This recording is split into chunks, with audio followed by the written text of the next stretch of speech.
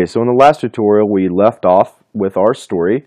Um, and so in this one we're going to cover hashtags. We're going to take a look at why they're a part of this website and how you can help us uh, better the usage of them. So pretty much if you're not familiar with Twitter, um, a hashtag is a way for uh, users of a website to kind of categorize information.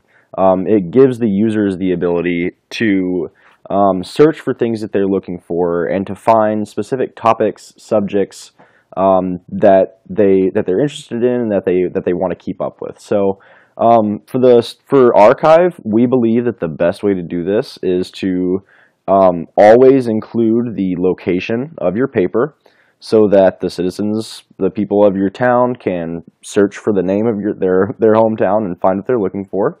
Um, and we would recommend doing this on every story. So um, pretty much on every story you post, even if you don't have any other hashtags, uh, we do recommend adding at least one with um, the name of the, the location that you're in. Um, so yeah, the next hashtag, uh, because our story really doesn't have any content, um, it could be really anything. It could it could be you know the subject matter of the story. It could be a uh, commonly, you know, a commonly um, known way to categorize whatever content the story has. So if it's politics, you could say politics. If it's uh, farming, you could say farms.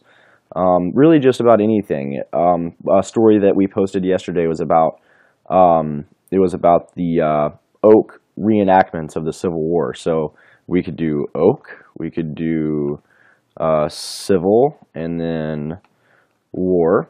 And the reason that I wanted to show you guys kind of how this is going to work is a hashtag is always one set of characters. So you can't actually go in and do civil war. You have to do two separate hashtags, both civil and war.